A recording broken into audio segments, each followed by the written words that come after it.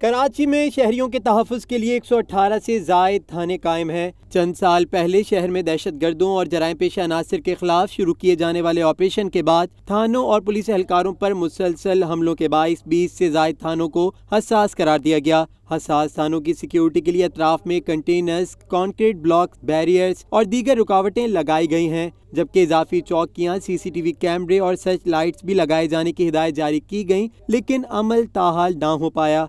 मुश्किल हालात हैं पाकिस्तान जिस उसमें से गुज़र रहा है तो उसमें हम सबको मिल के एक जो जंग है दहशत गर्दी के ख़िलाफ़, उसमें आवाम और पुलिस हम सब मिल के ही इसको जीत सकते हैं। दूसरी जानब कराची ऑपरेशन के दौरान लियारी के दो थानों पर कई मरतबा हमले की कोशिश के बावजूद लियारी के किसी एक थाने को भी बाकायदा तौर पर हसास करार नहीं दिया गया। अफसोसनाक सूरत हाल ये है की शहर में सिक्योरिटी पर मामूर एहलकारों को हिफाजती आलात भी इंतहाई कम फराहम किए गए लेकिन फिर भी पुलिस के जवानों के हौसले बुलंद हैं।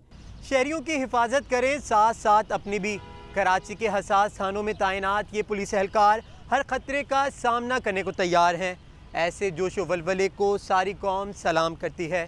कैमरामैन उस्मान शरीफ के हमरा दानियाल सैयद 24 न्यूज़ कराची।